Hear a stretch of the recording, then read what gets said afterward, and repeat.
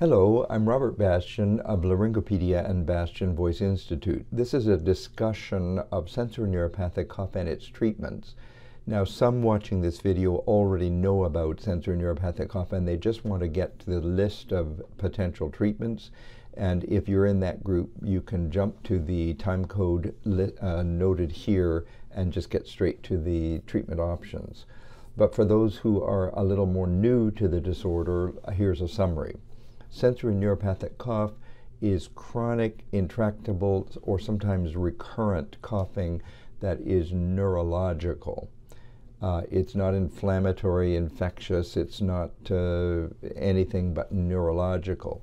We think of it as being the result of damaged nerve endings, usually somewhere in the throat, uh, caused by a virus, caused by thyroid surgery, some other kind of trauma, and in many cases, it's unknown. The coughing just started in it, it, and there's never a way to know exactly what caused these damaged nerve endings. But basically, damaged nerve endings don't go silent necessarily. Instead, they can go jittery and unstable. The, the threshold for their firing is reduced. And so these damaged nerve endings can create any sensation that it is possible to have. It could be a tickle, could be a very sudden feeling of a dry patch, sandpaper, it could be a pinprick, it could be a dripping sensation, pressure, a feeling that, of inhaling dust. But whenever it happens, it's usually very abrupt in onset and it immediately initiates coughing or throat clearing. Now, uh, often people with sensory neuropathic cough, their coughing is spontaneous. It occurs who knows why uh, all across the day. But many people with SNC have identified triggers, meaning things that make it more likely that they will cough.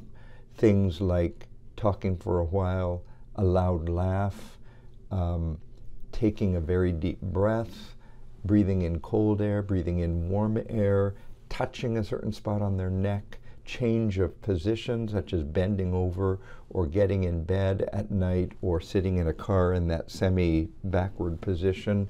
Uh, those things make it more likely that they will cough and uh, the number of coughs can be a few per day, but not at all infrequently. A person might cough two or three hundred times a day, and unfortunately, while most of them can be little or and then they're done, they may have a percentage of their coughs that are protracted and violent.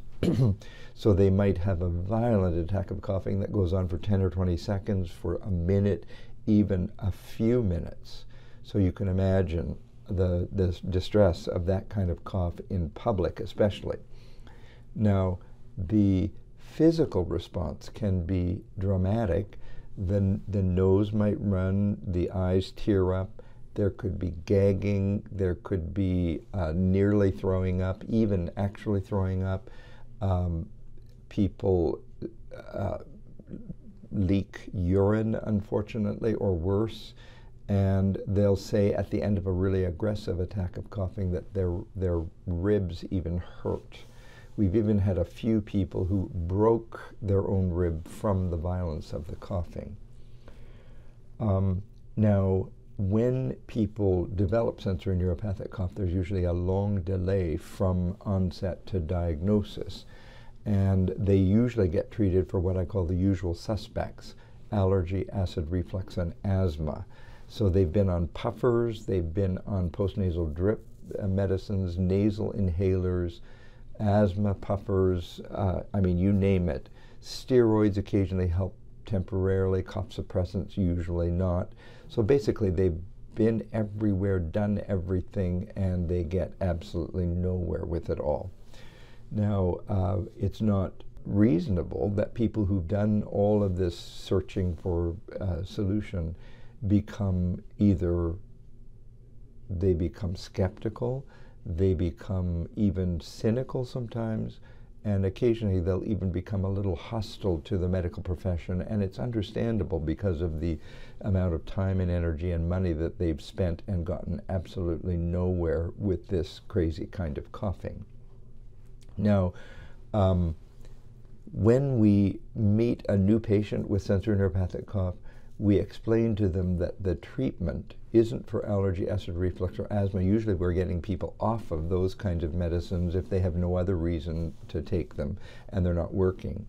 Uh, instead, we're going to use nerve ending medicines, the same thing that might be used for painful diabetic feet, for shingles pain, that kind of thing. Say, while 80% of people usually respond to the first or second one, a very good response is defined as 70 or 80% reduction. We often don't get rid of the coughing 100%, but we can generally make it major improvement so that it's diminished markedly, but not necessarily abolished.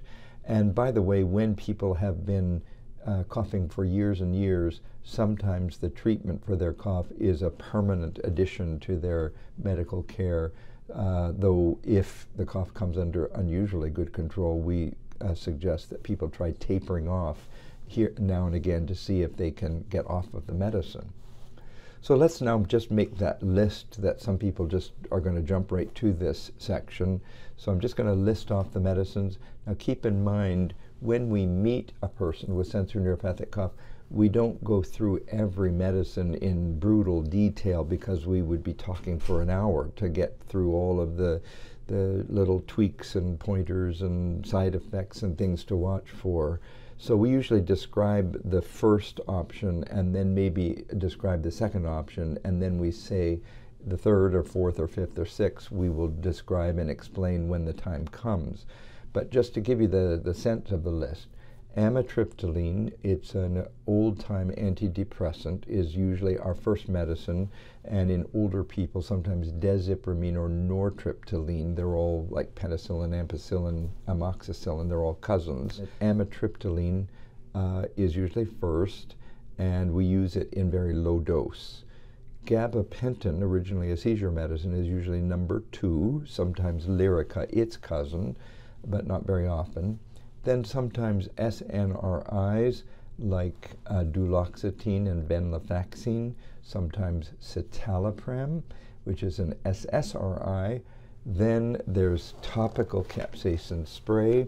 Uh, we've had to find a pharmacy that would compound this for us. It's basically what we call our hot pepper spray. Look up capsaicin spray on Laryngopedia, there's a whole article that explains the rationale on how to use it. And then uh, finally, we use sometimes injections. And I'll see if I can use this model to show you if the uh, tickle or other sensation is quite high in the neck, we'll inject the superior laryngeal nerves, which are about right here in there. And if the, the tickle is way down at the sternal notch, we inject pretracheally down in this area of the neck. And there are a few people where that works extremely well, though unfortunately it usually has to be repeated. And a more recent treatment that we're still evaluating is called naltrexone. Naltrexone is an opioid receptor blocker, and uh, it's used for our purposes in very low dose, far lower than it's used for other purposes. And it's a big discussion about uh, why it might work. And, and, again, it's just something to, to know it that is on the list, especially for people who are not responding to other medications. Uh, there is a new medicine called gefapixant. We've made lots of inquiries, and, and unfortunately, we can't get a hold of it for a brief trial with some of our tougher patients. But we're keeping our eye on gefapixant, uh, newer medicine, um, and there's Botox. I would say we're not huge fans of Botox because while you can improve the cough in some people, the price you pay in weakening of voice is, is a bit much in, in my experience. And then finally, years ago, I thought about, but I've never actually found the device for uh, uh, counter irritant. Capsaicin is the counter irritant inside, but we thought about a counter irritant a vibratory counter irritant, like a little vibrating device, to see if we could, uh, you know, quiet or or distract these damaged nerve endings. Well, uh, that is a discussion I- around the world in 90 seconds, kind of a big picture discussion, and uh, take the list to your personal physician. Um, we put all the names on the screen, so you can take that to your personal physician and say, could I try one of these medicines if you're not in the Chicago area and not able to come by Bastian Voice Institute? So I hope that helps, and thanks for listening.